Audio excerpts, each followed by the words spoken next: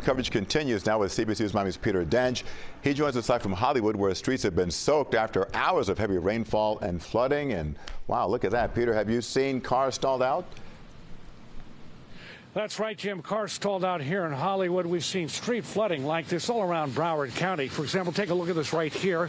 The floodwaters are flowing into the streets. Now, we have an update from the city of Fort Lauderdale. City says it's received up to, get this, 7.5 inches of rain since Saturday.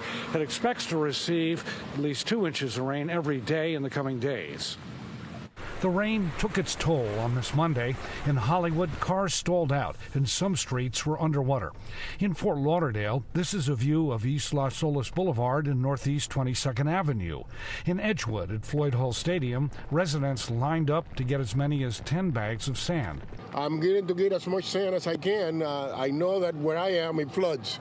In Edgewood, some residents already have sandbags stacked up by their front doors. Residents were overwhelmed by flooding in April of last year. This video shows how CBS News Miami was there as Kitty McGowan was rescued. We lost everything. I mean, we were trapped here. We were rescued on a swamp buggy. We couldn't get out.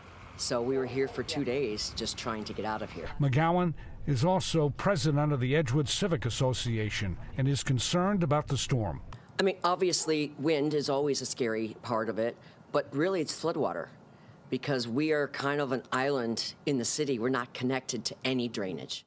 In Fort Lauderdale, Mayor Dean Trantalis says the city has taken steps to handle the rainfall. The big takeaway here should be prepare, but don't panic. It is positive both that our Public Works Department and the South Florida Water Management District have advised that the underground water table is not anywhere near saturation level. And we have a couple of brand new notes on the city of Fort Lauderdale. It says it has distributed, get this, 260 tons of sand at three different sites, and it's operating 14 different temporary pumps as well. We are live in Hollywood. Peter D'Oench, CBS News, Miami. Trying to help folks fortify. All right, Peter D'Oench, thank you so much with that report.